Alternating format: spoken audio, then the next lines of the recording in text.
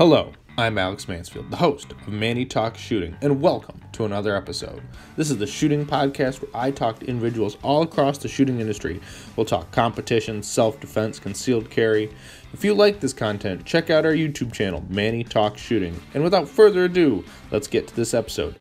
The title sponsor of Manny Talks Shooting is Go Fast Don't Suck. So if you need match banners for your match, check them out. They also have a awesome selection of pre-designed and customable jerseys. Don't forget, they are the home of the dry fire decals for your walls, so get those too. They've also got a plethora of patches and stickers that are hilarious and true. You know, Go Fast Don't Suck has a lot of things that you'll need on the range and off, so please check them out at gofastdon'tsuck.net. Welcome everybody, welcome back to another installment of Manny Talks Shooting, the shooting podcast on the internet because that's how we live on the internet everyone. I mean get off your phones for once and go outside and go do something. But um, without further ado we got to talk about the man that i made him lose an overall match win. I'm sitting down with my buddy skyler davis. How you doing skyler? Hey manny thanks for having me on. No problem. It's going to be a good one. And i don't mean to brag or hurt your feelings but that's kind of hilarious. I have one good stage and it, it messes up with the math. Yeah i'll tell you what. That was we were sitting at lunch afterward and we're like you know, this could move if somebody else won a stage. And then we all looked at each other like, ah. And then what do you know? Yeah. The open shooter comes out of nowhere and actually has a good stage for the day. Oh, you did good, man. Yeah, which is so weird. If anyone actually cares, we're talking about the Brooklyn Sportsman's Club April match, and uh, if you go to the overall, uh, Skyler lost by less than less than a slim point.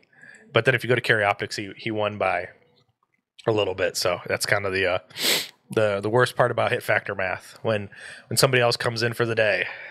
Yeah, yeah, it was a good match though. I mean, it's a one match point uh, either way, and it was good to it was good to see the boys, and it was kind of a who's who for uh, folks who are shooting in Michigan, so it was awesome.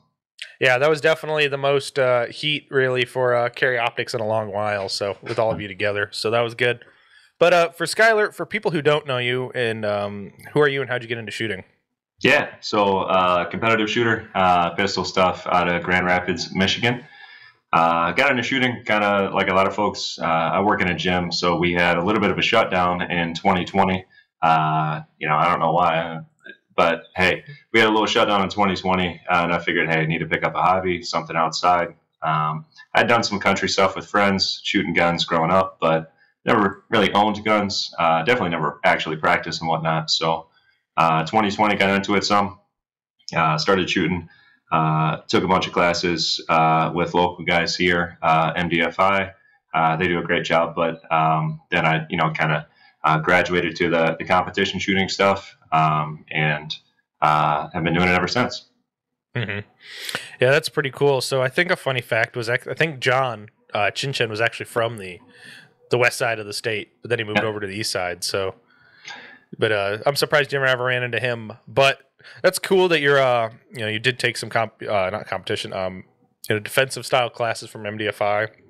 If anyone doesn't know, you know MDFI, the Michigan Defensive Firearms Institute, I want to say, um, ran out of Grand Rapids area, I believe. If I think I think still, I don't know if they moved their base of headquarters around enough. So yeah, they're all they're all over the place. They do a they do a great job. Those guys did a great job. Uh, you know, kind of teaching the basics. Um, mm-hmm uh, everything you need to know to keep the gun running and to shoot it well. And then, uh, you know, it's kind of what's the next step. And I see videos online and all that. And it's, uh, hey, what's this competition thing? And then went out there and got got rocked uh, for a couple, two or three matches, and then said, hey, I want to I want to get better at this. Right. Oh yeah, hundred percent. So, what made you want to start? Besides, you know, taking that next step after taking MDFI classes, what really made you want to jump into this like full hearted. Like know that this was your thing. Yeah, uh, I mean, it's those first couple, two or three matches, um, going out there and just having fun with the squad. Uh, how encouraging people are. Um, you know, obviously, your first couple of two or three matches, you're going to get insanely better just because you don't know what you don't know, and uh, uh kind of knocking some of that that new guy rust off.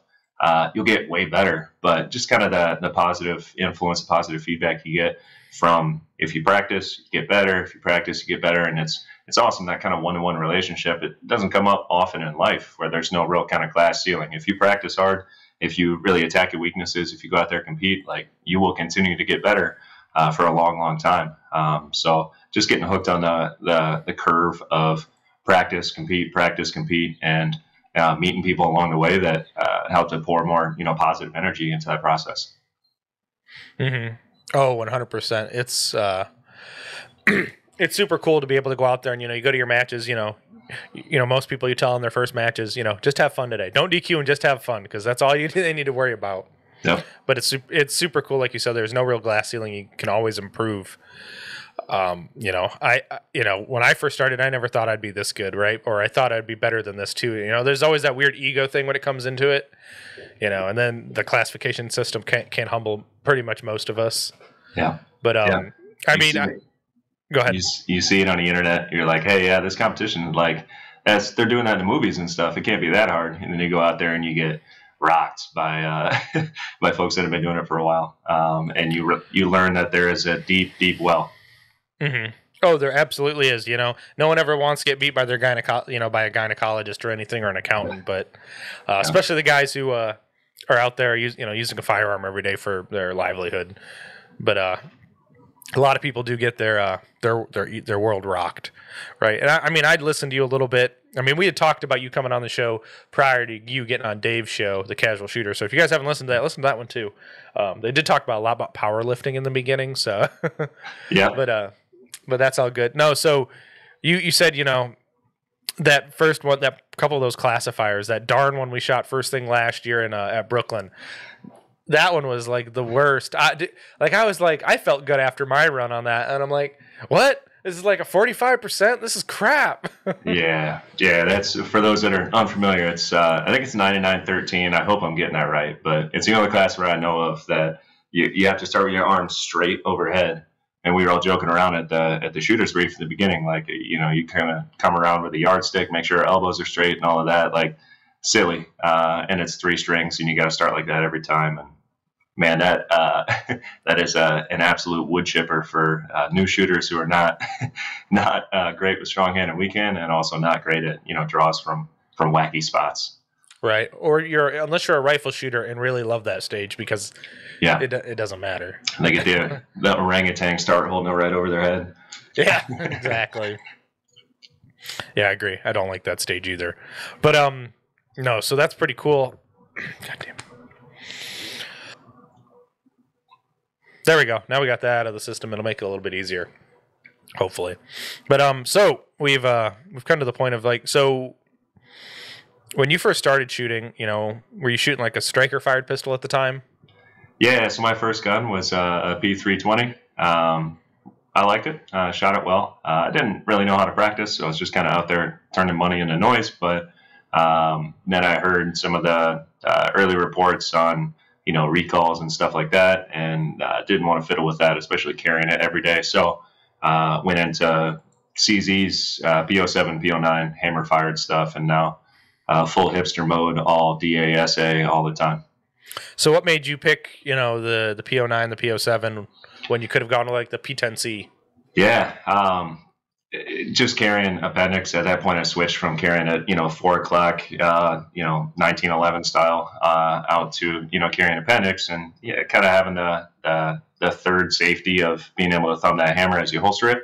Uh, can't hurt. Um, when I initially started, you know, shooting, you know, I, you know, I, everybody watches YouTube videos. I did the same thing, and it was, oh, you got to learn two different trigger pulls, and as you get better at shooting, it's pretty inconsequential. The two different double action, single action trigger pulls. Uh, so I got over that that speed bump, and I said, "Hey, a, a third safety is not necessarily a bad thing. Number one, you know, clear the holster. Number two, keep everything out of the trigger, and then number three, you can thumb that hammer as you can go uh, back into the holster too. Mm-hmm. Oh, absolutely. That is definitely a great safety feature and a good mindset to be in too.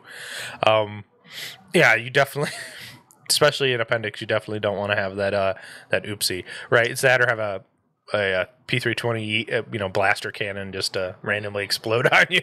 Yeah, yeah. At that time, it was like the old P320, like they weren't drop safe kind of thing. Uh, and there were all the videos of people hitting them with hammers and stuff. And I mean, Sig fixed it, but that that was enough to give me cold feet. And uh, I traded for a, a gently loved uh, PO7, and then never never really looked back.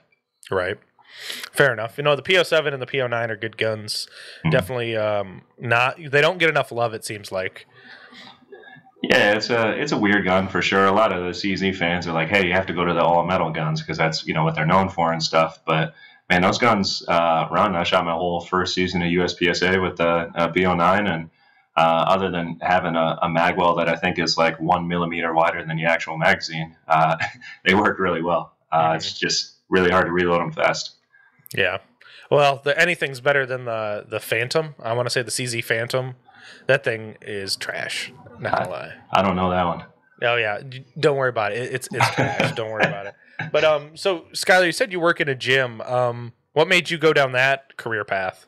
Yeah, uh, so I've always, you know, uh, played sports and whatnot, but I've always been better at working out than I was at at the sports, and uh, you know, just having um, uh, mentors, having coaches that you know really pushed me and stuff growing up.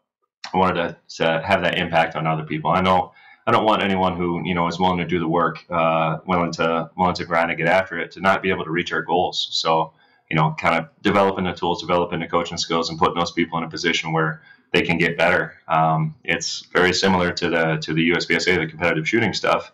Um, it's just kind of taking that glass ceiling off for folks and trying to point them in the right direction. Um, I love it. Uh, work with a great team. It's different every day.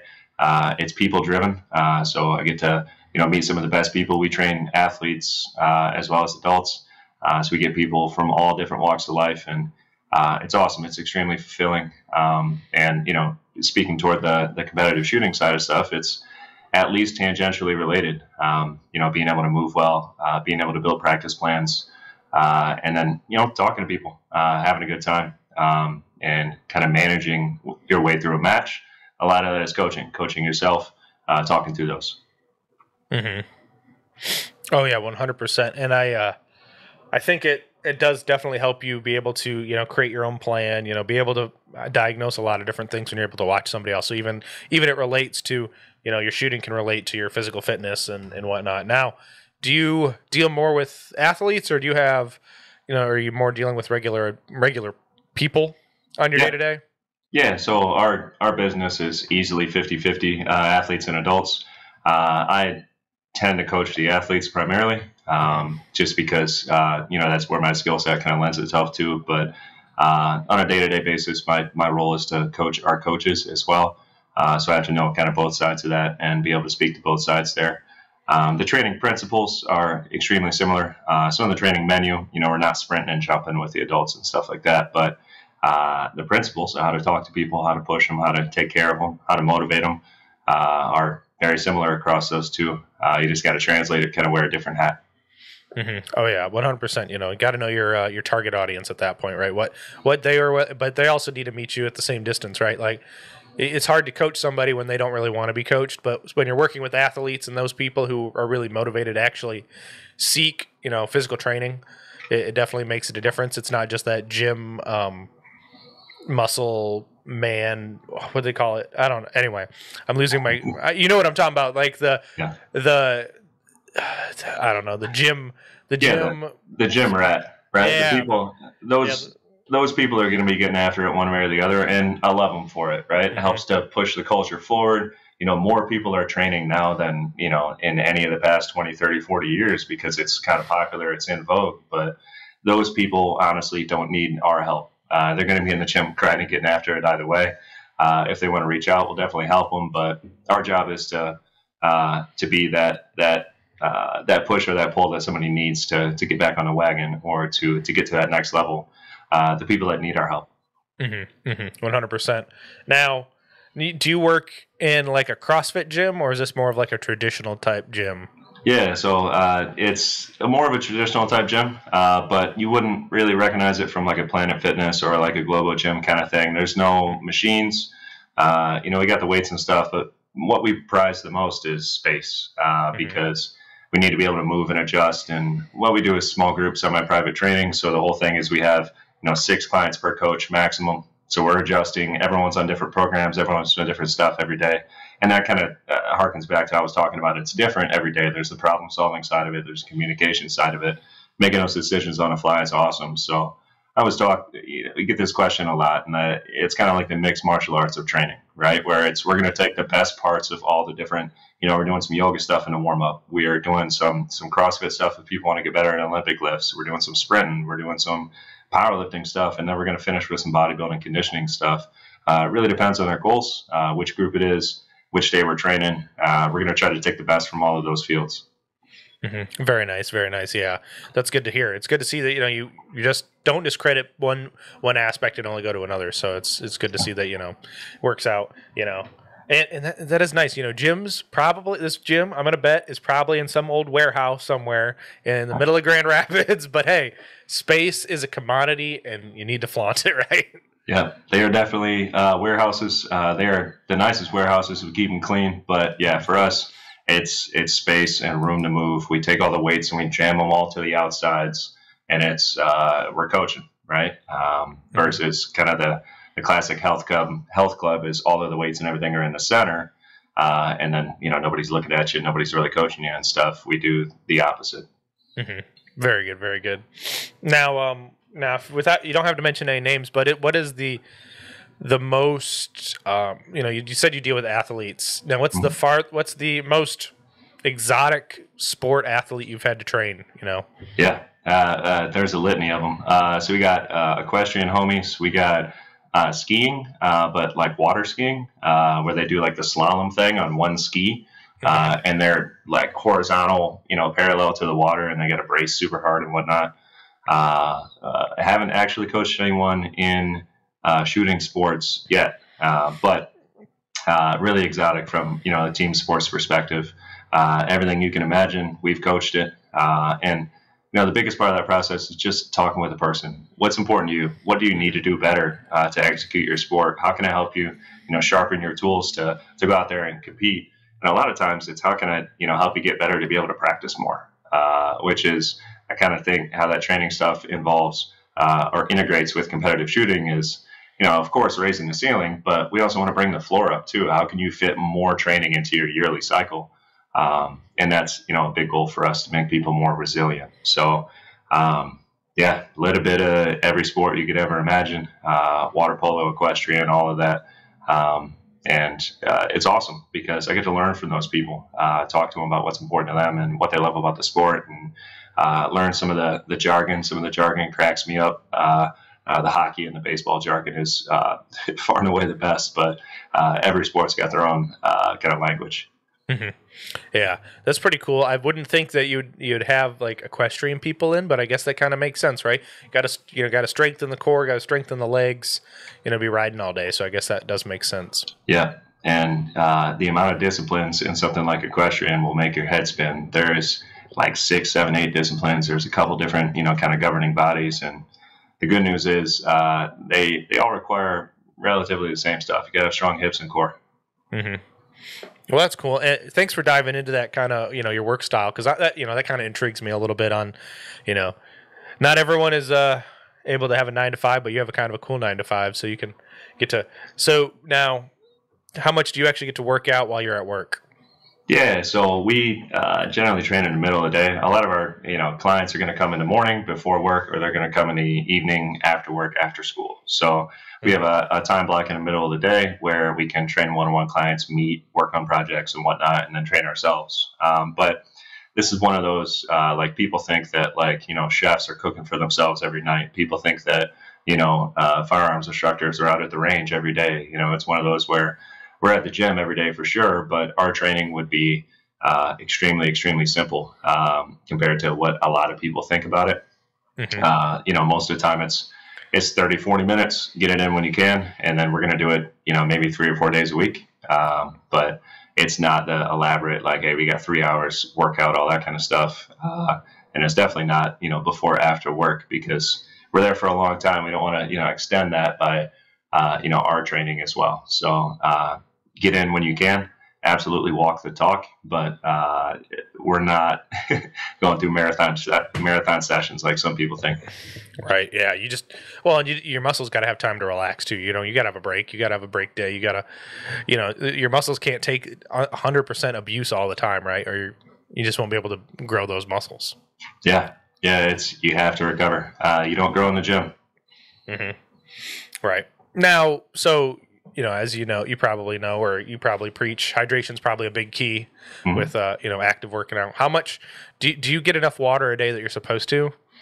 Uh, yeah, so that's tough because you know we're obviously talking, we're moving around, we're getting after it. Uh, so during the groups, uh, no, uh, we work on basically an hour schedule. I'm not going to uh, stop coaching people to chug a bunch of water, uh, but throughout the day, yeah, probably. Uh, I try not to drink a bunch of it, you know, super late at night because you can be up using the bathroom and stuff. But uh, definitely slamming water uh, during those off times, and then uh, none of our four locations have air conditioning. Um, it's kind of a, a cultural thing for us, but also air conditioning a giant warehouse is expensive. So, uh, especially as we go into the summer, we got to stay on top of that. Mm-hmm. Yeah, you don't you don't want to be air conditioned in that. And yeah, you got to maintain your body fluids. That's for sure. Mhm. So, you know, you you come in. So I'll I'll dive back into our sport. So a little bit, but I'll I'm going to transition with this. So what so what are things or activities or workouts that your average competitive shooter can do to be better for the sport?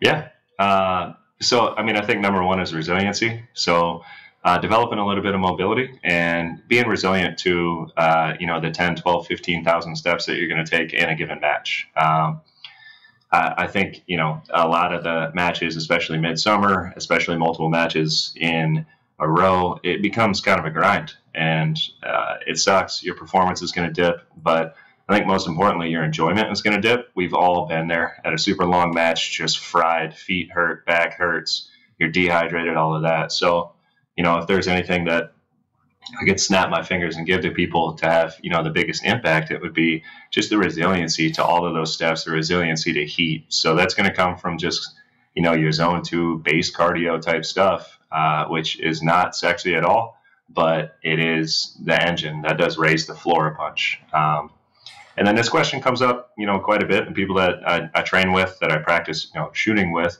you know, uh, what are the exercises to really raise the ceiling and whatnot? And you know, unfortunately or fortunately, one of the best ones I can point to is, you know, sprinting and stopping. Uh, our sport is a bunch of short sprints interrupted by just pounding on the brakes. Uh, how soon can you stop and establish a great shooting platform or a, a good enough shooting platform? And then how soon can you reaccelerate? Um, most of your time in a stage is not going to be shooting. It's going to be moving in between shooting or moving while you shoot. Uh, I think it's Tom talks about, you know, getting to the last target. Um, the whole thing is how quickly can you do that? Now, uh, are you going to be able to sprint flat out? Uh, It depends on the range surface. You know, you go down to Cardinal and they got the lava rocks. You go over to you know some ranges and they got the sand. You know, that's kind of up to you and the situation dictates. But uh, having a higher ceiling as far as your ability to sprint, stop on a dime, and shoot right away is uh, is the one thing that I would point to um, would help almost everyone. Hmm Oh yeah, I would definitely agree. And yes, knowing your range surface is very important. What you can and can't get away with on the range, not even from like a rules perspective, but yes, on a you know the. Uh, have you been down to Kentucky to the bluegrass? Okay, so it's kind of like the same rocks at Cardinal, but some of their bays are sloped. So the Ah. walking path. So if you think about it, there's different pits, um, but they kind of like so you know how Brooklyn's got them all laid out, you know, back to back. So there's a spot at Kentucky where there's about five bays that are all cuddled together in this pit. But some of the bays, the back of the you know the, the ground at the back berm is taller than where you would come out to the walk path. So if you're doing a retreating stage, most people will biff it, falling down, uprange, Yeah. and it's definitely that I had plenty of experience of ROing a lot of people last year at Kentucky with that problem. I'm like, "Ugh, no, thank you. Yeah, yeah. When a fall turns into a slide, that's uh, it's a little more dangerous. Mm-hmm. Well, yeah, you know, you, you know, yes, just falling, hurting yourself, you know, drop, you know, being unsafe and or just actually damaging yourself too. Like, yeah, I bet you know a lot of high, you know, high performance athletes have done some stupid things and hurting themselves for a long period of time with one bad move. Yeah. Isn't that uh, isn't that lovely though? Uh, that we're just uh, such connoisseurs of you know dirt pits and gravel and stuff in our sport. Uh, an absolute superpower. Be like, hey, that's some that's some good gravel. That's a good pit. right? Yeah, exactly. Well, hey, they build them where they can, and I guess it's out of rock and clay and say, oh, you, you know, you might complain about. I, I will. You and I will probably complain about South Kent's ground surface forever, but it's nowhere as bad as Houghton Lakes um, sportsman clubs. It is literally legitimate, like sand they dug up from the beach, Yeah. and it's just like it's going home with you no matter what. It, it's like Hey, I mean, at least if it's sand, it drains quickly. You know, it's it's one of those where uh, there's pros and cons to all the surfaces. hmm Yeah, I definitely. I I don't know. Definitely places like Brooklyn or you know where we were at today, Oak Hill have good. I would. I'll take that every day, but that's not a normal occurrence. Yeah, I like looking at uh, you go overseas, uh, especially like the Philippines and stuff, where they have uh, the crazy like turf surfaces, and it looks like perfectly manicured and everything. That uh, I don't know what the con is to that, but there's a lot of pros. Yeah, maybe getting a little bit of rubber pellets in your shoe from the, the Yeah. turf. Been there. Yeah, hundred percent. Like I remember back in high school when I was um, our football team had gone to state, so we got to perform as a marching band on like Ford Field, Mhm. and that stuff was all like no one's like, "What is this?" It's like, yeah, it's all this crap from the turf. It's like you'll you'll live with it.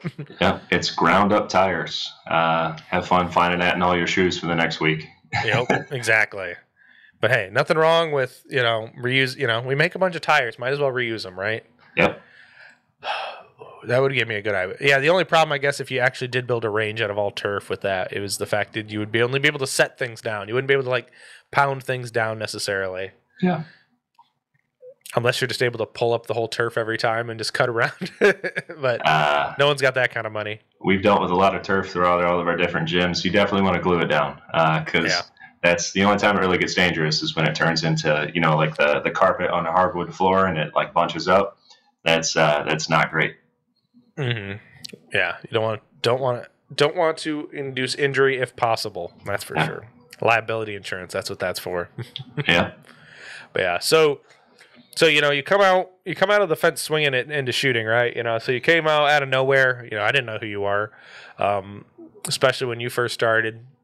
You know, the the hair is the hair and the the black beard definitely intimidating from a distance. Especially, were you wearing pit vipers when you started, or some like really singular lens shades? Yeah, yeah, absolutely. The the mirrored, uh, they're heat wave visual, but uh, yeah, same deal. hmm Yeah, definitely intimidating from a distance, right? But you know, getting to know you better and uh, chit chatting with you more, make you know you become more personable. You know, from those first couple matches that I remember seeing you at. Um, but uh, so you know, you go to nationals that first year, right? Well, that was 2023. Yep. You went you went in as B class, and you know you smoke the you smoke the water, and everyone's like, "Who is this guy?" Right? You know, and that's that's the cool thing, I guess, about it is when you come out of nowhere, people don't don't expect it, right? Yeah. Now, if you can remember, um, well, it's you know it's almost been a whole year now because you know Carry Optics is just around the corner. It seems like in June. Yeah, isn't that lovely? Yeah, so you go from being B class at nationals to now you're a grandmaster. Um, I think take take that in, listeners. Right? You know, less than a year in, and he's already a grandmaster. When you- when he now you you've got a good mental image, you've got good physicality. You know, so you know what it takes to to get to that level because it's not like you're a you weren't a Joe Schmo coming into this. So Yeah. I guess let me get back to my question was so when you shot nationals last year, um, what would you have done differently? If you you know if, if Skyler today could tell Skyler fr- from last year's Carry Optics Nationals, what would you tell him? Uh, I'd say set that spray paint can down uh, instead of dropping it. Uh, so like second shooter, first stage, first day, it's just pouring down rain.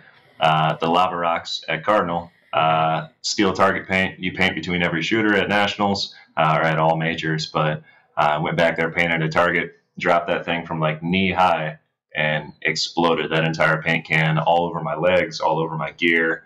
Uh, my legs were frosted for the entire nationals match. Uh, my belt, my like holster and mag pouches, and all of that are still uh, flecked with that white spray paint. Uh, I was in the I was in the shower doing hot, doing cold, trying to scrub that crap off, and uh, yeah, that was that was a that was a weird look for sure. Everyone's walking around at nationals trying to keep to themselves, but somebody walks by with short shorts and bright white legs. You're like, what is what is that guy getting up to?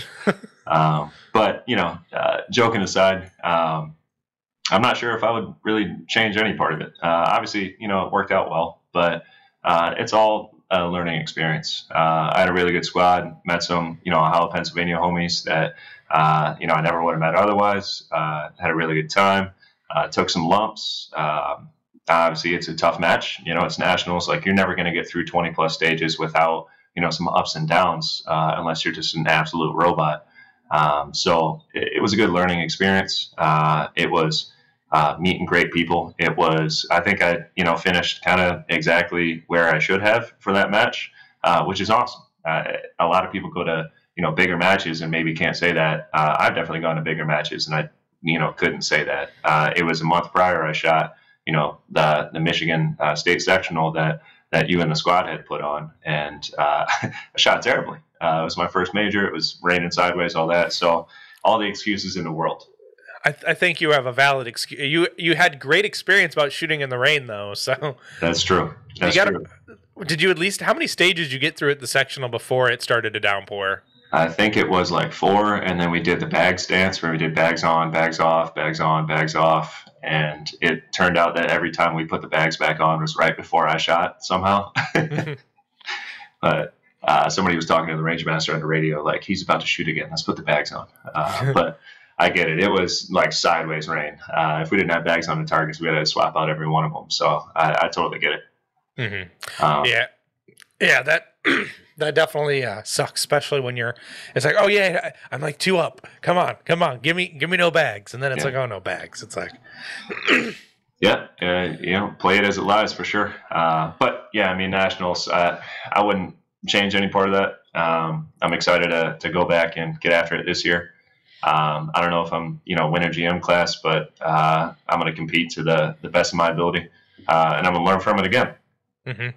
Well, I mean, you're very lucky. You're very fortunate. You get right. You get to shoot against, you know, Jake, who's a phenomenal guy to shoot within our our local area. You know, he's not that far from you. Yeah. He only lives in Saranac, so it's not like not like too far from Grand Rapids. I'm surprised you guys haven't had a a one on one training session yet or at least that you publicized. Yeah, that we we haven't yet, uh, and this is I'll clip this out and send it to Jake uh, as soon as it's posted because we've talked about it quite a bit, but uh, our schedules are kind of cross. He uh, uh, uh, jobs and family and stuff like that. No one needs family. Gosh, Jake, no one needs family. No, I'm just kidding. Family's no, important, but, uh, he's a he's a great dude. He's uh, you know whether he he would say so or not. He's you know been one of my mentors in this. Um, uh, just mostly uh, whipping me uh, through my first year shooting, but learning from his game. And then he's been so kind as to say, hey, you know, uh, do you want any pointers? Do you want to know how to beat me? All of that. And we've had you know great conversations, and I've tried to put his feedback into practice. And um, I look forward to a lot of really good matches. Uh, like I said, that Brooklyn match was literally one match point across. I think it was like 700 match points the whole match. So uh, it's awesome. You know, it's a, a iron sharpens iron kind of thing. Mm-hmm. Oh yeah, one hundred percent. I mean, that was a fantastic match for, especially for a first match getting back into you know outdoor shooting. I mean, we shot at South Kent a couple weeks prior, and I was like, never again shooting in March outside in this cold. it wasn't even that it was cold; it was the wind that was horrible. Yeah. And I got popper screwed. You know, it's hard to say that a, a guy shooting major got popper screwed, but I, I, I, hit the cal I nicked the calibration zone and this popper was set so heavy I'm just like whatever I'm gonna lose calibration because good old Kluge you know Kluge's gonna take forever and shoot it in the center and it's gonna go down and it's gonna be a waste of my time. he's he's gonna shoot it with a 16 inch PCC with uh, factory loads too. Yeah. Uh, which hey. Uh, but yeah, it's and they have to set the poppers heavy because they're blowing over. Yeah, it's it's tough. You got to drill those things.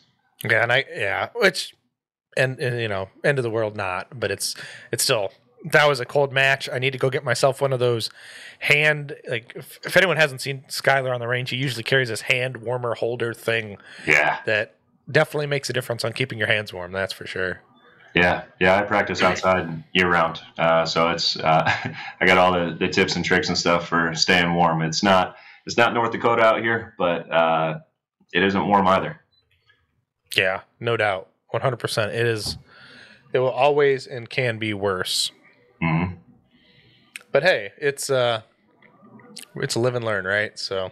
I think the I think the April match last week might have been colder, but it wasn't nearly as windy. Uh, well, and it was sunny out too, right? Now that's that makes the biggest difference. Like training today, it was a beautiful day out there on the range, even if it was a little windy. Like I had one target blow over once, and I was like, "But the sun's out, and I could care less." yeah, But it's also shooting later in the day. Definitely makes a difference too. When you got to start shooting at ten o'clock, it's it's still cold. walking stages at eight thirty, uh, wearing a full you know winter coat. That's that's Michigan. Mhm. Yeah, no doubt about that. So I, I was look, I I was curious. I pulled up the Michigan sections. You know, people who are shooting the Michigan sectional this year. So anyone curious in carry optics, you guys could get a classifier score from this match because Hey. there are three GMs so far signed up. Come on out. So that will definitely be a good a good match. Unfortunately, I have to shoot Friday, so my scores have to hold up throughout the whole weekend. So Is uh, uh, John shooting that? Who's the No. third GM? uh, Sam. Sam, Oh. Sam came up. So there could be four if John comes out or um, John Martello uh, from Chicago if he comes over. Yeah, yeah, that guy can rip too. Yeah. He's a good dude. I like him. He uh, I always make fun of him because he and I both enjoy green very much. But Yeah. he, he always ends up having more green on him than I do. The lime green, yeah, yeah. It's uh, I like going over to uh, Chesterton, North Porter over there, getting to shoot with the Chicago guys. Yes, North Porter. Oh, that is such a, a good match. Or even the fact that it's a two day match. So if you can't make one of the days, you can always go shoot the other day. Yep. It's definitely it's definitely nice because you can. Spe- Well, for you, it's it's it's closer for you probably than it is for me. It's still about two hours before Yeah. time change. Yeah, it's two hours, but yeah, like you mentioned, the time change. It's easy to get there. It's just a tough pill to swallow on the way back, and you're looking Yeah. at a three-hour commute in the face. Yeah, but at least it's not. Ter- you know, you well, you at least stop at Kalamazoo and go north on 131. So Yeah, it's not the end of the world. But uh, no, um, no, we have a decent amount of good clubs to shoot at right now. That's the nice thing. There's not a lot of shooters in the state, but there's definitely a lot of good places to shoot. yeah, and I mean the shooters on the state, the shooters in the state are on the rise. I don't know about you know total numbers. It's cool to see the new shooters come out, but uh, you know the guys who are competing and getting after it, it's it's awesome. There's a bunch of uh, AM, you know, GM class dudes that are getting after it, and everyone's on their way up, which you know I love to see. Uh, I hope they I hope they stick it out. I hope we all stick it out. Uh, I know that there's generally that natural progression where you know people progress, and then it's what like three years or something, and people fall out of the sport. Uh, it would be really awesome to to build the scene um, and have a bunch of people that are competitive, uh, where you can go out to you know one of these locals and get a great match and compete against great competition uh, every week. Yeah, one hundred percent. Yeah, that is definitely the nice thing is to go out and compete, get good people to shoot against. Yeah, and as you mentioned, it is about every three to five years that the the sport flips. Right, new people come in, old people leave. You know, it's always definitely a. Uh, it's sad to see people go, but it's nice to see the fresh blood come in and stick it out. I was. uh I've been trying to get people to come shoot this match. I mean, you know, they've already got just as many shooters. They still got plenty of time, but they've got just as many shooters signed up for the Michigan section is that already shot it last year. So That's good. so I'm I'm wanting this match to be up back under 250, you know, about right about 250 by the end of the match because the more people you can build into the hype and bring more people into the match, the better you get people at your locals, right? You know, it's always that competing thing. It's like you want to beat your buddy, but you want to beat your buddy who's from Chicago who's coming up. That's that's the true the true bragging rights is kicking your buddy's butt, right? Yeah. And then they got to think about it on the whole drive home. Mm-hmm. yep. I got my little trophy that says I'm better than you, but uh, The uh, I, I think the date for the sectional probably helps. I know you guys were between a rock and a hard place last year, but not Yeah. having it at the beginning of April is probably a benefit. I mean, this is true. I, it did not help us last year, but I can't. Oh, that's why. So we had to move Area Five. That was the problem. Area Five had to move because of Area One was the same weekend, um, and then Faster Horses made us move again. Well, it was Faster Horses made us move, and our backup date would have been when Area One was. So we moved Area Five to the sectionals date. That means we moved the sectional to the middle of frickin' April, which which was great for the people who shot on Saturday because it was bright, sunny, and warm until you get the people on Sunday who shot and shot in miserable, crappy rain. yep. And I, can I still couldn't believe how many people were late to that match. Yeah, that was there were like two dudes on my squad. Well, I think it's because uh, uh, the range usually starts at ten, and you guys got the, the special consideration to start it, you know, earlier. So people are like, "Oh yeah, I'll roll in at nine forty-five.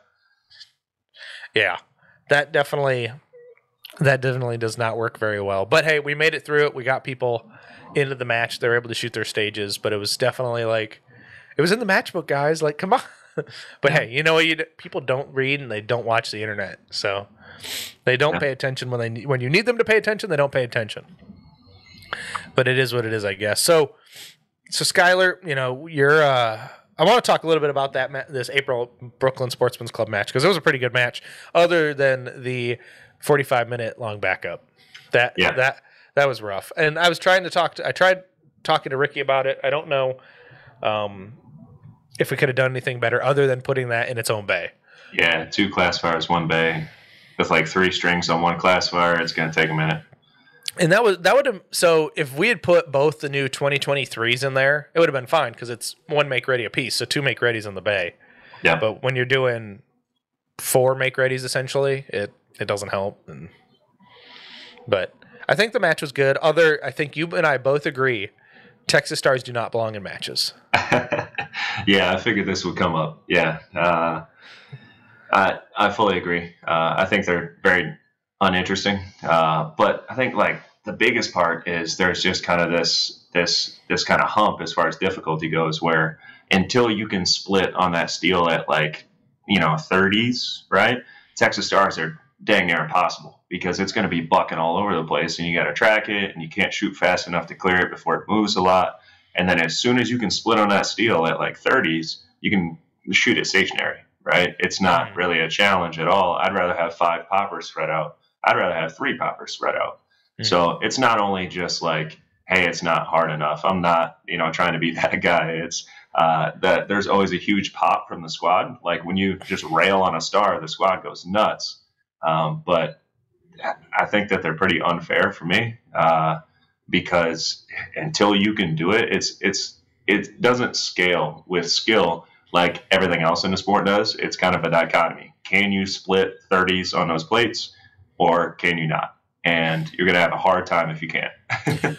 Right. Well, and even if you think about it, if it's not spelled out how to reset the star, where the one spot's always at the top or the bottom, yeah, or um, does it spin at all? Like there's some old crappy ones that you see out there at matches that just they don't spin. Like you start shooting them, you know, for those guys who can still who are, who might not be able to shoot a 30 split on the steel, they, they're at, you know point fives, but the thing doesn't move, so they can clear it, and it's like this is this is sucks. It's like yeah. the, the test that it's wanting to test, they, it doesn't test. So so let's fix it, right? Uh, two two ideas. Number one, uh, obscure it, right? Where like you can only see half of the star, and so it ha- it moves for everyone, so everyone's got you know roughly the same shooting challenge there. Mhm. Uh, or number two, you extend it a little bit further out, where everyone has to shoot you know 50 splits on it, and it's going to move some, but you know, then you got some of the some of the newer shooters uh, shooting a Texas Star at 15 yards. It's it's going to get a little spicy. So it, I don't know if there's a great way to fix it. Uh, for me, uh, just like the caption I had on Instagram, leave them bad boys in the barn. Uh, just take just take five of the regular plates and just like scatter them around the bay. I'm cool with that, right? Right. Easier to reset and it's a lot more challenging. Right. Well, it, and it always sucks is there's always one guy stuck resetting the darn thing because nobody wants to touch it. I'm, I'm definitely one of those people. Like, I don't want to touch it. I'll hold the plates and you can reset it. I don't want to. And uh, the squad before us, uh, you know what they did. You know what the squad before us did. They painted the steel right before they left. And I'm like, hey, don't paint that. And they go, do you want to paint it painted? I'm like, no. And then they still painted it. and I'm like, all right, so we have to reset this and it takes forever. And I get sticky fingers. Yeah. Oh, I don't. I hate reset. I, mm. Another reason why you don't like stars, especially in a major match where you have to paint them between shooters. The, know, the squad just is like, really? I have to pick this up, this nasty, wet, painted piece of steel. Yeah. I At mean, least- look, really good match, really good setup. Even that stage was good. Like they used the star well. It's just, I, Mhm. I, I think there's better options. Uh, yeah. All right. So you say that stage was. I'm gonna say it was an. Int- I don't know. Mm. How do I say this nice? I, I told Ricky that I wish that stage would have been different, so I can say this on the air. Yeah. I just felt like there was too many available shots from the front. Yeah, that's for sure. Yeah. That like now there was always the of how are you going to interact with that one hardcover target on the ground. I mean, that was the one behind the left barrel Yeah. as you're coming in from the the right side. Mhm. Or was it? Do you take that one? Do you post? You know, and then our, my squad ended up. It's like, all right, we're going to shoot this one, and then we're going to shoot that open paper. You know, that's staring you square in the face. You're going to shoot that. Then we reloaded. Mhm. But you guys shot it a little bit different. Well, even on your squad, I saw Jake's video and your video. You guys shot it differently, similarly but differently. Yeah, well, he was he was practicing for uh, IPSC nationals, so he uh, had 15 rounds to work with. So uh, if you notice in the video, I, I stacked in as many reloads as he did, just so he didn't have any excuses. But he had to he had to plan it that way because he only had 15 rounds. Yeah. Now, yeah. If, now, if there was a way to obscure the star from somewhere, but um, it could have been a bit better. But it was not a bad stage. It could have been better. I'll say that. I'm, I'm nice. Now, the next stage over there that uh, I'm kind of curious. What did your squad like have a hard time on Bay Four? Yeah, I think it was just the timing on the activators at the end there, just trying to be uh, too quick with it and whatnot. You're talking about the stage that that you won. Uh, yep. Yep. I'm going to talk it. about my stage win. Love to talk about it. Yeah. Uh, uh, obviously, you know, no shoots on the way up and whatnot. You deal with those. Uh, so it's you know open, no shoot in the middle, open. You move through it. It flowed really well. Uh, and then it was just kind of uh, trying to trying to hero or zero the back array with the activators and stuff. Get a bobber going, and then shoot some other stuff, and come back to the bobber. And it's one of those where uh, you know there's kind of two strategies as far as moving targets go. If I could be so bold as to to speak about strategy as a new guy, uh, but generally two strategies, right? Either hit it and let it do what it do and hope that it times up, or uh, hit it and go right to it, where you can kind of control the exposure.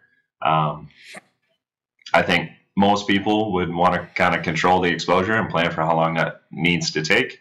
Uh, and I think we just got a little overly aggressive with activating it and going to find other work, and then you come back and the bobber's gone for another second and a half, and then Mhm. you put a couple of shots on it, and there's a no shoot on the bobber. You don't know if you threw one high or whatever. You wait for another one, right? So, it, I, I think it was one of those where because the pressure was high, because the squad was getting after it, um, that was one of those where instead of you know uh, uh, shooting at ninety percent, we're all trying to shoot at ninety nine percent, and kind of kind of came up to bite us.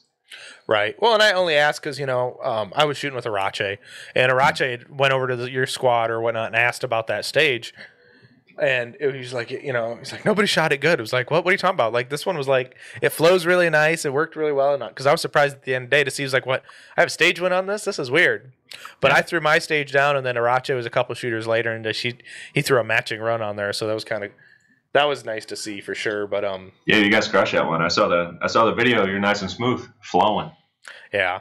Well, I got very lucky and I don't know. I I guess the nice thing about knowing the range and the props a little bit, you can kind of guess on timing too, right? Like you know if you're gonna have a forward falling popper, it's gonna at least take a second, and it's still got to pull the cable to pull the bobber. But I just kind of you know I shot that popper and then just went for the. It was right there, but it was not that you couldn't touch it with your freaking pistol anyway. But uh, you know how Yeah. that works. It was wasn't terribly far, but it was a nice stage. Um, Yeah. I watched. It was kind of funny. There was a stage, a stage very similar to that one I saw on the internet, and I'm watching the RO sprint like bloody murder to try to catch up with the shooter when they could have just walked around the outside. I mean, the stage we shot, the RO just kind of followed you along. It was kind of entertaining. I'll have to send you this video of the guy just like hoofing it to keep up with the guy, and I'm just like, but you could have walked around the outside guy. You would have been fine. Yeah, that's definitely uh an aspect of stage design that goes uh, underlooked quite a bit, where it's uh, underappreciated. Where uh, how, where does the RO go? You know, uh, really tight final positions and stuff like that. It's like where's the guy with the timer stand? Right, or how do you? Yeah, how do you? Oh, that's another thing too. You know, you just took your RO class back uh, earlier this year. Um, you know, and you're learning a little bit about that. And yeah, where do you stand? Where are you not going to screw with the guy? You know, because that's that's a big thing too, right? You gotta you gotta worry about where you're standing to not have them bump into you and be like, oh, you interfered with me. I couldn't go get that target now. Yeah, and then you got the the PCC shooter on the squad, and you got to get way up in the ejection port and all of that kind of stuff, and changes your position. Like it's it's an art uh, being a great RO, uh, and like you said, I'm a new guy. I'm you know just learning that thing, but I know that uh, some stages uh, don't account for that, and uh, that's tough. Mm-hmm. Yeah, it definitely can. Yeah, you. A lot of people don't understand that when it comes to stage design. How is it easier to you know? Well, and then there's also options too, right? You know, mm-hmm. you might you might have one guy do this wacky plan that ends him up some weird spot, and you're like, well, I didn't catch the last shots because he did something stupid. Yeah. You know, because you know at a major match, you, you know the person working the stage kind of knows where everybody's going to go by the end of the first squad, right? Like there's n- typically no wonky plans at that point. But yes, there's always going to be the one guy who's like, I'm going to do it completely backwards and upside down. Like it's Start anywhere outside, and he starts all the way at the front. yeah, yeah, and, and retreats the whole stage. yeah. I think that's why uh, nationals. It was what 21 carry optics nationals, and it was like 21 stages, and like 19 of them were start straddling the stick. You know, it's like Mm-hmm. uh, standardized. Standardized, but Thank you for watching another episode of Manny Talks Shooting. I greatly appreciate it. And if you could do me a favor, please go patronize our sponsors here when you are available. We've got Hunters HD Gold, Go Fast Don't Suck, Outdoor Dynamics, Make Stuff Better, Range Panda, Southern Barbecue, Laugh and Load, Summit City Bullets, 2 Alpha Apparel, and Tom Castro Shoot Academy. Now let's get back to this episode. It, uh, it still is annoying, right? You could easily have feet on marks. Like this is this is what I'd prefer at least. Put feet on marks or whatever. Like because somebody I think Shooting Sports Innovations makes like those die cut metal X's. Yeah. Stand here. We don't worry about it. Just put your feet where the feet things go. Yeah, You don't have to worry about um, is he straddling it enough? Is is he is he is he loading too much on one leg? Um, Not to pick on you from when you made that comment, but it is a valid thing, right? It's like has some old crotchety guy gonna really like your start? How you look at the start, right? yeah. I mean, I felt bad for the ROs. Our first stage, they're like, "Okay, here's what a straddle looks like." I'm like, "What? What are we doing here?" Mm-hmm. Yeah. Hmm. But yeah, uh, and that sucks. So and so will demonstrate how to straddle the stick. yeah, and they try to not make eye contact with anyone. You know, it's like they look right at the back of the bay while I straddle that. it's yes. yeah, there's there's no good way to do it. But yeah, uh, uh, Fort Wayne down there in Harlan has those uh, uh, start start and uh, you know uh, the PCC mark and all that kind of stuff positions, and hmm it is unambiguous. I'll tell you that much. Uh, there's no guessing. Yep. Exactly, and that's that's what you need to have, right? No guessing. Just let it be.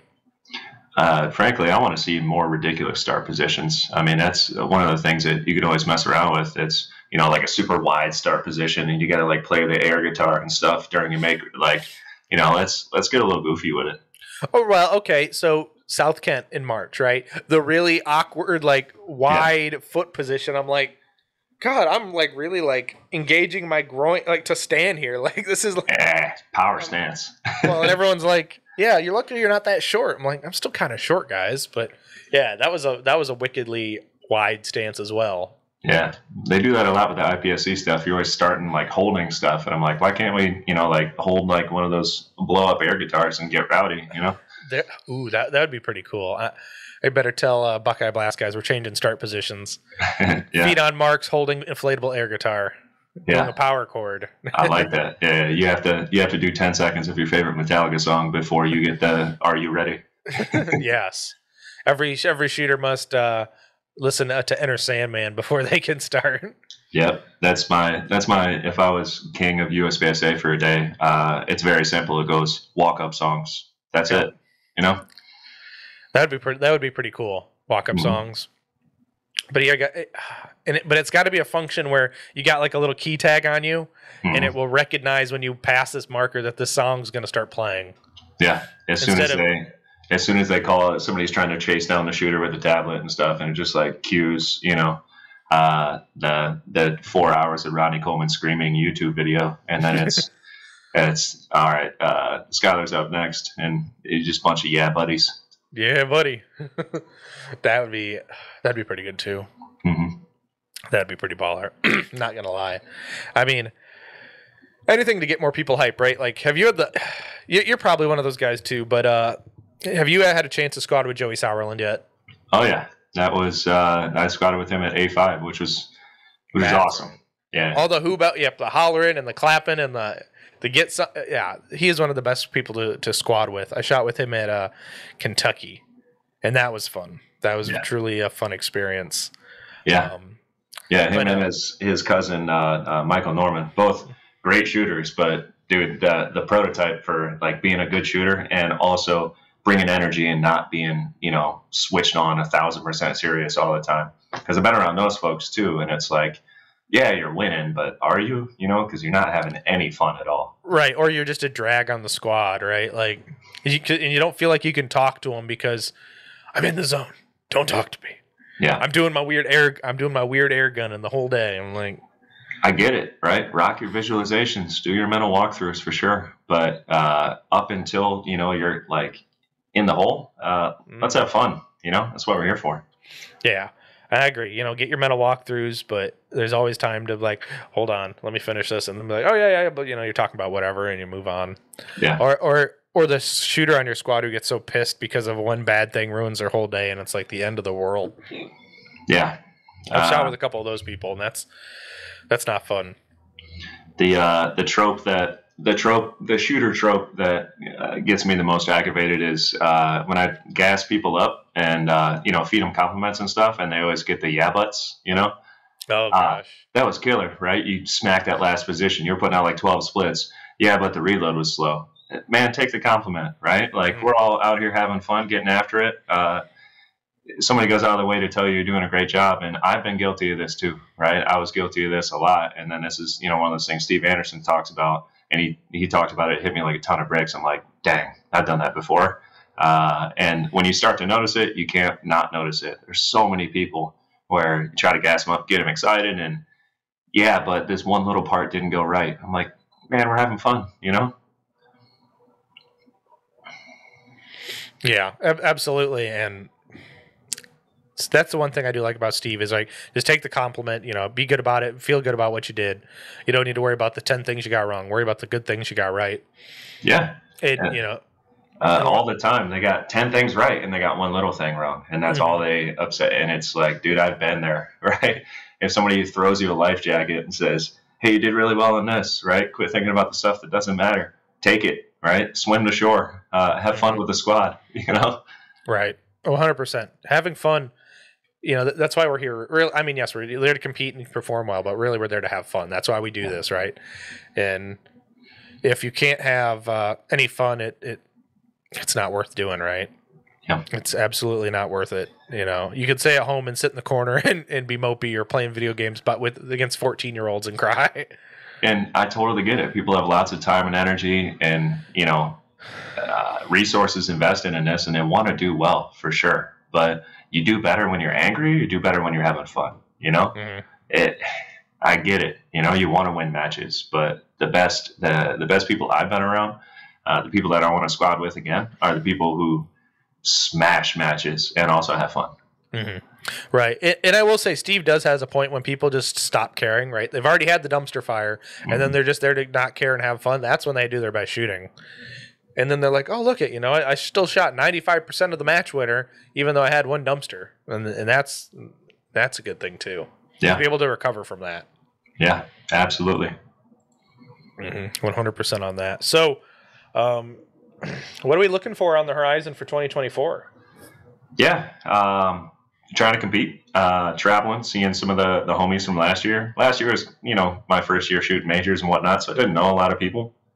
And you know, it's obviously fun to travel and get after it. But this year, now I, you know, know some of those people that I'll be seeing at these matches, uh, Airbnb shenanigans, and uh, catching up with folks. So you know, obviously the social aspect of it. Um, you know, I put a lot into this, and you know, time and practice and whatnot. So I really want to do well, but uh, like I was saying, mostly I, I, I want to see the people. I want to travel, get after it, and uh, you know, take this show on the road. Uh, being that you know we have the six months off from October till now, uh, feeling cooped up, want to get after it, uh, and want to do well. hmm Yeah, you know, absolutely. You want you want to do well and burn it down right now.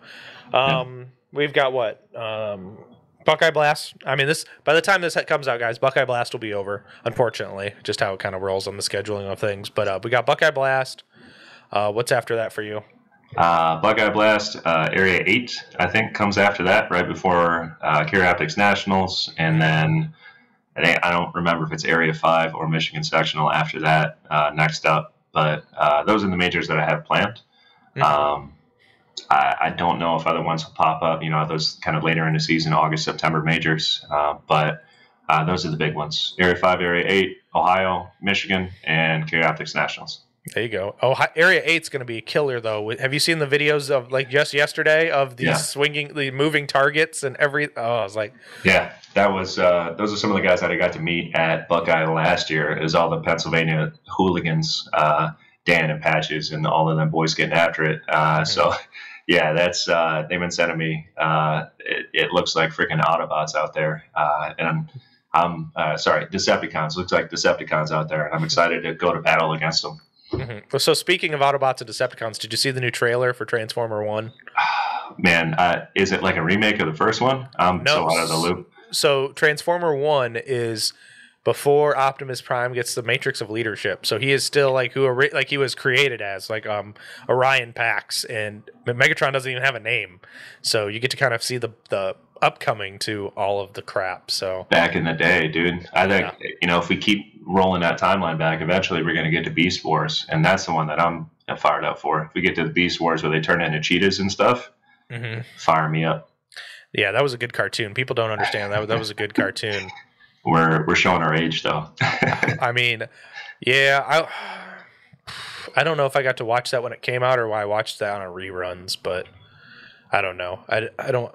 I turned 30 this year, guys. Like, you know, so by the time y'all listen to this, it's, you know, March. No, it's April, end of April 2024. In September, I'm turning 30. So all the good cartoons were not wasted on me. yeah, aging like aging like fine wine. You look better than ever before, Manny. Yeah, this is why I wear a hat though, so no one can see the receding hair. I don't have luscious hair, right? Like I will say it goes my family it goes thin, but I don't get that bald spot back here. So if it goes like Hey, living in living in with uh hair problems, right? That's just how it is. But uh, you, you just got to get some neck tattoos and like a waist length beard. You'd be good. uh yeah, my dad tried that once, and that was he. He, he looked like remember when Duck Dynasty was really big. yeah, My dad had a Duck Dynasty beard, and I'm like, Dad, you got to get rid of this thing because it was all white. He it didn't have any color; it was just all white. I was like, looking like Gandalf out here. Yeah, he only wishes he was Gandalf. he might think he is, but uh, no. So if you if you haven't gotten anything in September timeframe, you need to shoot the Indiana section. Yeah, I've heard that a couple of times. Yeah, down there in uh, down there in Terre Haute. Yep. Uh, I, that one's looking to go onto my schedule. I just got to get the guys figured out if we're carpooling and room splitting before Yeah. I pull the trigger on that one because that should be a good match. Last year was good when it was a single day format, but it'll be a whole weekend. Well, it'll still be a single day format, but they'll be shooting all three days instead of just the one day. So I think that'll be a good match to go to. Get some options. Yeah, I mean it's it's kind of a hike down from Michigan uh, since it's all the way in the south part of Indiana, southern part of Indiana. But Mhm. uh, yeah, I'll definitely look at it. Um, there's a bunch of those uh, kind of later season matches that uh, I'm trying to see how the how the motivation, how the how the juice is at the end of the season there after June, July, and see how I'm feeling. Do I want to you know just tuck into practice? Uh, go to classes. There's some classes up here at that point, or do I want to keep the, the show on the road, going to major That hmm Right. Well, especially with Carry Optics Nationals being so early in the season. Like, I wish I, I said I told I told people I was going to Open Nationals, but with the cost of things and just everything in general, I was like, ah, I can't make it this year, unfortunately. And well, really, I blame my sister. She's getting married, so got to Uh, go on the, all the wedding things, and it's just like, She didn't want to get hitched in Talladega, Alabama. well, no, she's getting married. She's getting married Michigan sectional weekend, so. Oh. so I can't. I I'm ending up just shooting that match on Friday and not even have to staff it, which is which is nice on that part. But it's also like it's like dang it. But hey, it doesn't matter. I get to shoot with my buddy John Roy from Outdoor Dynamics, who's coming up from North Carolina. So hey, there you go. yeah, he came up and shot one of their club matches, I think in June last year, and he really enjoyed it. So his uh, in-laws live uh, east, no, west of you. They live over there by the lake, by, by Grand Rapids, though. So, but uh, so it was that that'll be a good time for sure. So um, dude, oh, I guess I, I do have to get to these listener questions. So this is the part where all the hilarious questions come out. Um, I was I was warned. yes. Well, I don't know how crazy they think they are, but we'll we'll see. Gotcha. Okay. It was weird. Like I had a buddy message me while we were doing while we're doing this, and it's like, what are you like listening to the conversation somehow? And I know that they don't live with you because they have their own family, but it's like someone hacking into my computer. so, but but uh, it made sense after I got clarification via the text message. All right, so we've got some good questions. Um, first is Billy Harrington wants to know what conditioner do you use? Oh man, I'll tell you what, Billy Boy down there, uh, Missouri, getting after it. I met him at the uh, Steve Anderson uh, Joyce Ireland class in Ohio. Uh, him and his son Braden uh, down there shredding. Uh, Billy, I'm sure you heard about it down there. mane and tail. it's for horses, but if you want to have a if you want to have a fantastic mane, you got to rock the mane and tail. It comes in jugs about as big as your torso. you just dip your hand in there and run it through. Um, I look forward to seeing you grow your hair out this next year, Billy. Yeah, you know, well, you know, you, you don't look fast unless your hair's flowing in the wind. I mean, it's, it's, a it's a proven fact. That's what I'm saying. I haven't got around to braiding it yet, but it, it does. Uh, at the very least, it makes the Instagram videos look faster. Uh, as long as you don't look at the bottom where the hits are, uh, mm-hmm. no problem. Right. And, and that, that is something you do with your videos. You do the split thing like John Martello does. You know, you have yeah. both videos and then you've got the the practice score. Um, are you doing that? You're doing that out manually, I'm assuming, right? Yeah, I do that in uh, in DaVinci. So I pull everything out and then edit all of it and all of that. I do get questions about that a lot, uh, and people are always really disappointed because they think it's they think there's some app out there that'll do it. Uh, I haven't found it yet. Uh, I cut them all manually. Yeah. Well, our, well, feel lucky your computer can run DaVinci Resolve. Um, mine not so much. You got a you got an Apple computer or what? No, my desktop just doesn't have enough. You need like a bajillion amounts of RAM to run it. It's uh, it's it's hard. It's not a gaming computer. It's, but it's definitely like, why?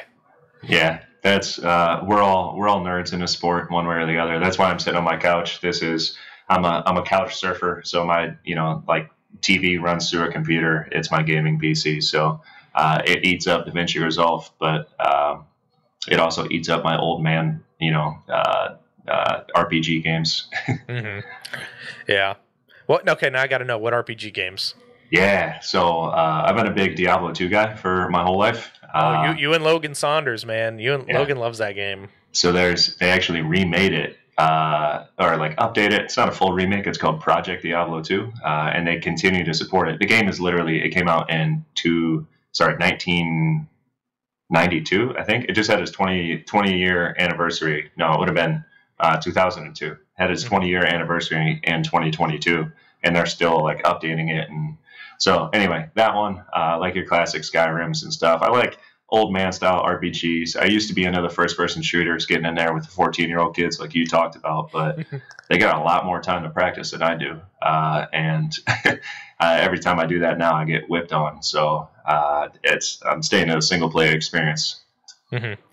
Yeah, I remember I, I, used to get down with some Skyrim and some Oblivion back in the day, uh, but when I started my quote unquote real job, uh, I just I lost interest in playing video games. It was just like so, well, it didn't help. You know, being married, you got to find time to for each other. So it's like, yeah, you can't be playing video games all day. So yeah.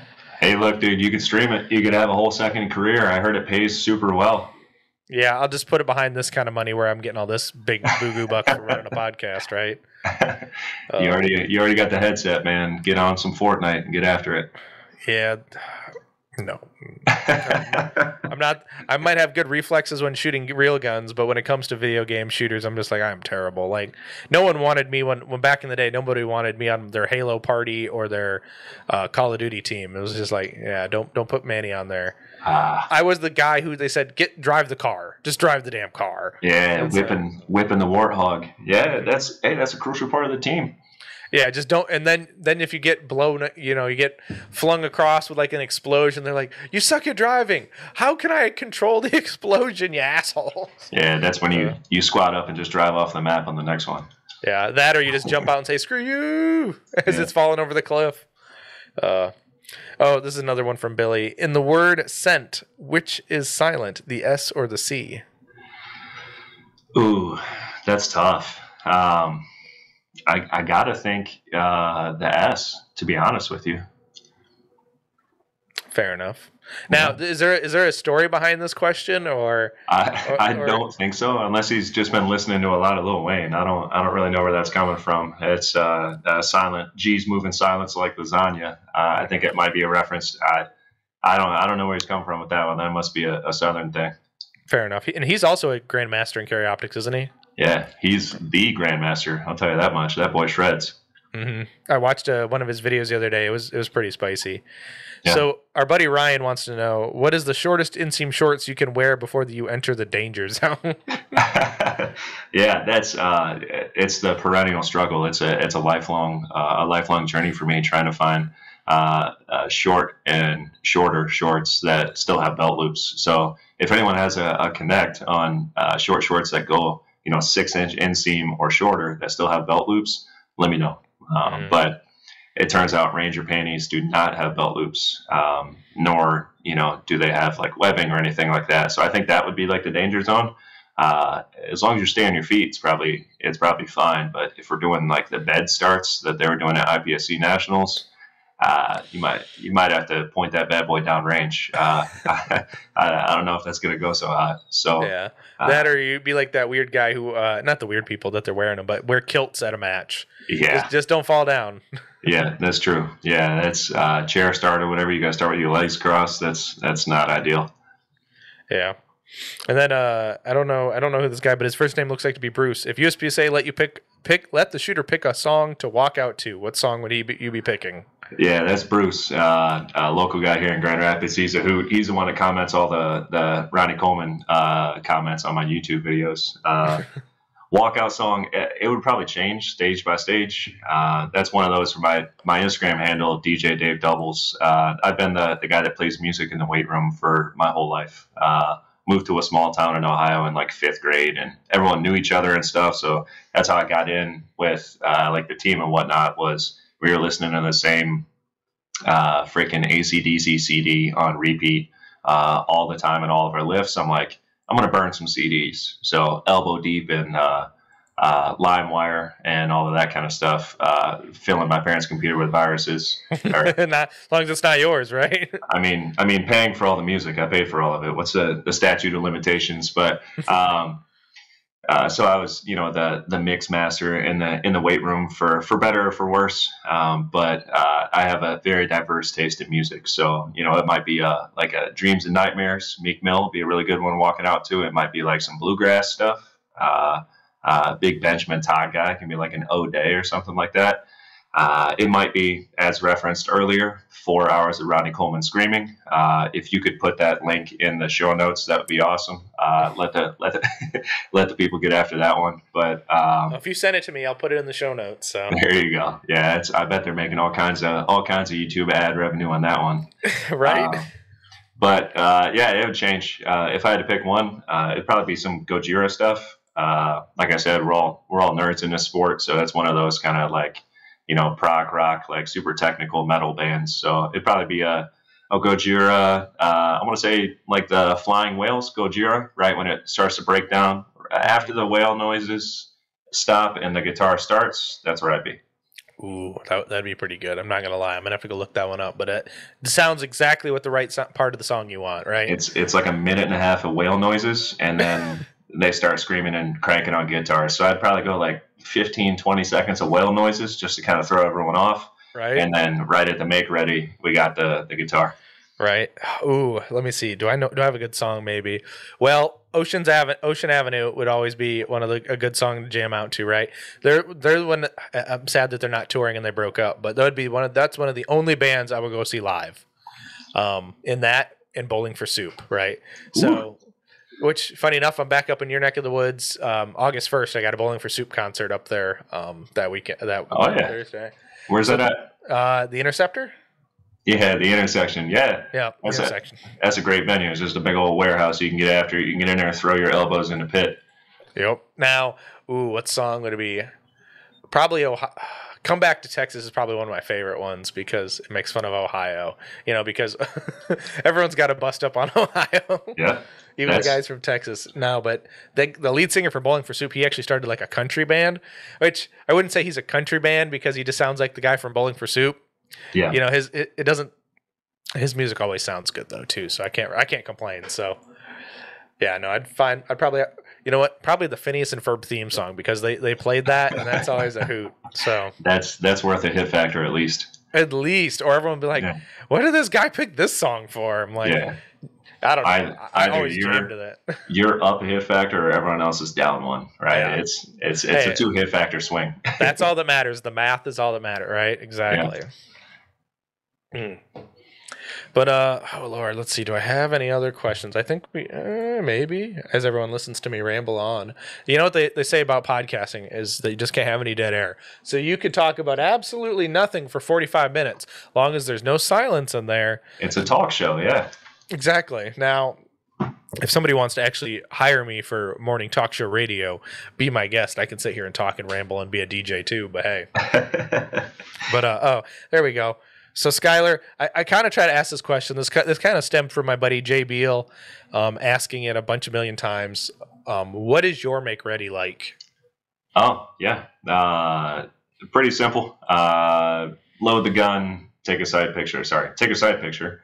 Load the gun, check it. Uh, if it's a Barney, load another one.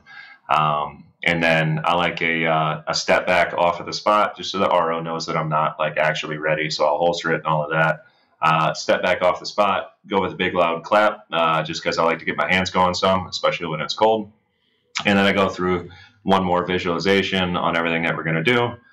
Step into whatever the start position is, take a big old breath, uh, all the way in, all the way out. And then I try to pick, if I'm going to a position, I try to pick a really tiny spot and try to pick out one, you know, grain of sand, one uh, blade of grass down there. Or if I'm, you know, target staring me in the face, I'm trying to pick one little spot on that target. So it's kind of the uh, the ritual with the getting the machine set and then getting your mindset and then getting the visual system set um, is kind of like the three steps that I try to go through.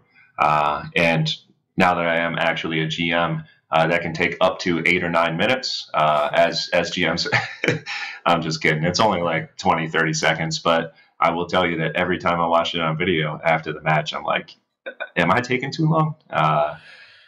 No, it's because people don't know how to start recording video at the proper time. Like Yeah. one, uh, lo- I love all you guys who help record video, but can you like at least like be respectful and be like, do it right before he's about to say, "Are you ready?" yeah. Because I hate editing that too. Like, or or at least like get some shenanigans on film. You know, it's like turn to the rest of the squad have somebody cut a promo or like zoom in on their butt while they're doing the make ready or so, like, like make it fun. You know, yeah, at least entertaining enough to hopefully I get a blooper clip off of it, right? yeah, yeah. But that minute and a half, and I'm standing there uh, before they even call make ready, like that that hurts. I get real self conscious. I'm like, is this taken to you know? But uh, yeah, that's uh, that's the process. Uh, it's working okay. Um, uh, uh, subject to change. I might throw, you know, a Ronnie Coleman yell in there or something. So don't hold me to it. Uh, if you hear a lightweight for the next bay over, uh, just take that energy and you know use it for your run too. Right there you go. You know, and so you're saying if a GM gets eight minutes, do I get to prorate it on my percentage off of a GM? Is that how that works? Yeah, so I get to. T- oh, that'd be that's that's too funny though. No, yeah. uh, the open shooter just banging on the bottom of the big stick, trying to get it to seat for like four minutes. yeah, no, that's definitely not. Well, I mean, some people, yes, that's how it goes. Or well, it used to be this long push, like click, where you hear that that Yeah. click. Now it just goes. It's in there. Yeah, But, uh, it terrifies me every time. Every time I RO an open shooter, I'm like, is it going to work? Is it not going to work? Uh, did it actually see? Because there's a lot of times that thing comes out of the holster and the magazine just falls, or the very first round just gacks and won't feed.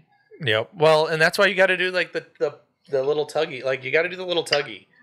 Like people think that you know just because you're doing like you got super tactical, you know, these super competition guns that are super expensive, you can't do the simple, you know, tap rack. You know, you can't do the this, you know, press check the stu. I don't know how many open shooters I know who don't actually press check their gun. Yeah. Like I press check mine every time. It's part of my make ready. Mhm. Um, but yeah, just make sure there's a bullet in there or the mag's gonna stay. Yeah.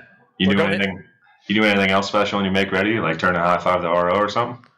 No, because usually it's like, oh, thanks, thanks for letting me not our RO guys. Like, that's usually how it goes. It's like, like if you if you shoot with my buddy Ken Wes and I, we're pretty much, we try not to take the timer as much as we can, so new people get experience and other people have to.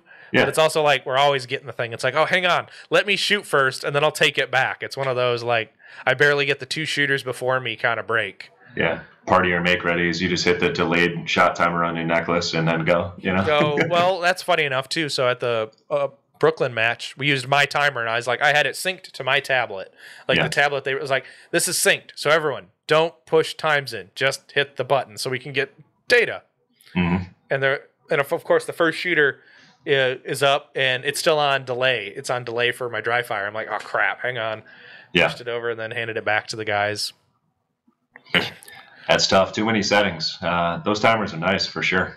I just got a uh, an SG uh, Go, and if anyone hears this and can help me with it, I reached out to Shooters Global and everything, but you can't change the random delay. The random delay is only two to four seconds.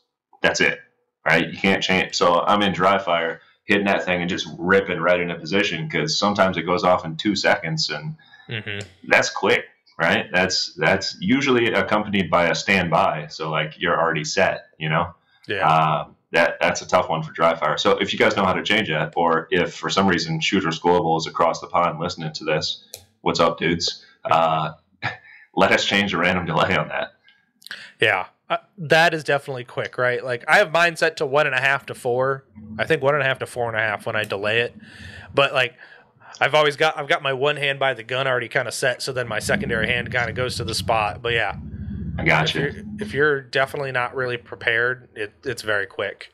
That would be a it'd be a good running question for the super nerds. What is your what is your dry fire random delay on your shot timer? Yes, Uh, exactly. Two and a half to six. That would probably be preferred. That, but that six seconds is gonna feel like forever when you're Yeah. ready to go. It's like, is it gonna beep yet? It's gonna beep yet? Nope. And then Yep. it'll beep. Or then you realize you hit the other button instead of the go button. it's like, Yeah. Yeah, I've been there. It's uh but every once in a while you get that, you know, the RO gives you the, you know, are you ready, stand by, and then they're like, is he actually is he eh, okay, hit it, you know, and you get the the long beep. I can deal with a quick beep, uh, but the long beep is tough. You're falling out of position. They write you up for creeping, you know. It's like I didn't think I was that creepy. They're like creeping minus ten, you know. Have you actually gotten a creeping penalty? No, but Okay. that's uh, I try to give those. I, I try to threaten the boys on the squad with those every time, especially when they're they're back there with their their off color comments and stuff. Like you're gonna get a creeping. Uh, but not, not for actually leaving before the start beat, but for being creepy. yeah, you get a you get a creeping before you even have to make ready. Oh, that's too funny. Well, brother, um, this is the part of the show where I like to, uh, you know, pay back to people. Um, do you have anybody who you want to shout out or companies that you may or may not start working with?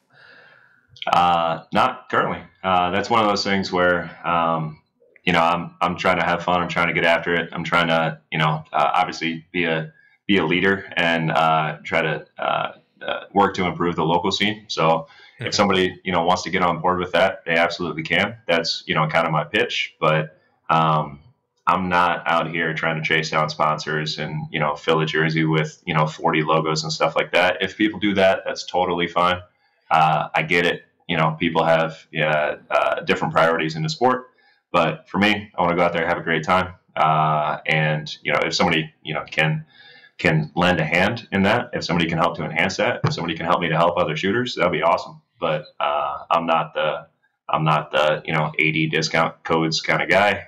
At least not yet. Maybe in you know a year I'll eat my words, and that'll be awesome. I'll come back to listen to this and listen to how stupid I sounded. right?